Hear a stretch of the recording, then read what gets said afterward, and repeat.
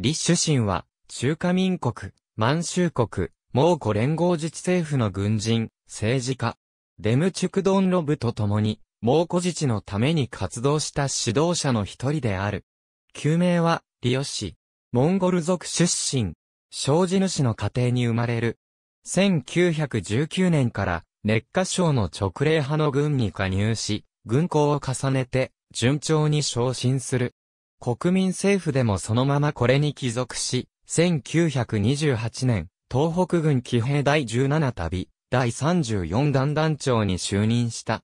主に開け、炉に駐屯し、1930年前後にガーダーメイリンの放棄を鎮圧した。1933年、立主神は日本軍と交戦し、日本軍の航空機を一機撃墜した。しかし、これをきっかけに、李は日本と交渉し、日本から兵器、資金の供与を得た。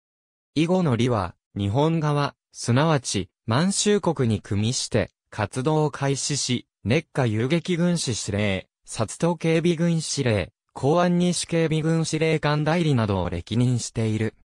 1936年2月、デムチクドンロブが、蒙古軍総司令部を創設すると、立主神もこれに参与し、副総司令兼軍務部長に就任した。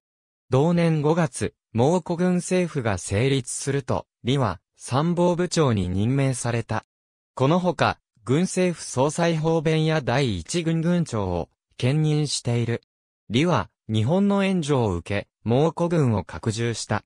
同年11月、デムチクドンロブと、立主神率いる蒙古軍と、王衛率いる大官義軍が水縁を攻撃した。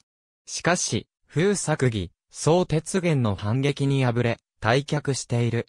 撤退後、蒙古軍総司令部が設立され、デムチクドンロブが総司令、李が副司令に就任した。1937年10月、日本軍の援助により、蒙古連盟自治政府が成立する。間もなく、李主神は、蒙古軍総司令に昇格した。1938年7月、李は、蒙古連盟自治政府副主席に当選する。1939年9月、蒙古連合自治政府が成立すると、李は引き続き、蒙古軍総司令を務めた。1940年1月、李は、蒙古連合自治政府代表として、チンタオで、南京国民政府代表の周福会と会談し、自治権をめぐる交渉を行っている。その結果、南京国民政府を政党の中央政府と承認し、その地方政権となる一方で、蒙古連合自治政府は高度な自治、チンギス換気源の年号の使用、蒙古連合自治政府機の使用等を許可された。1941年6月、蒙古連合自治政府が、蒙古自治国に改められると、副主席に当選した。デムチュクドンロブと、李主神日本が敗北した後、李主神は、デムチクドンロブに付き従って、北平に避難する。小海石と交渉して、第十祖寺軍総司令に任命され、旧部隊を率いて、中国共産党に備える。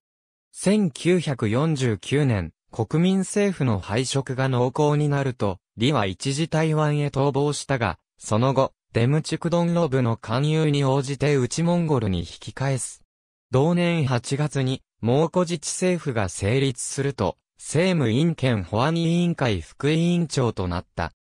同年12月中旬には外、モンゴルを、ゴンチギンブムチェンド、内モンゴルを、デムチュクドンロブに任せて、自らは全モンゴルの統治者となることを考えていた、モンゴルの独裁者チョイバルさんに招かれ、これに応じて、デムチュクドンロブと共に、モンゴル人民共和国に亡命した。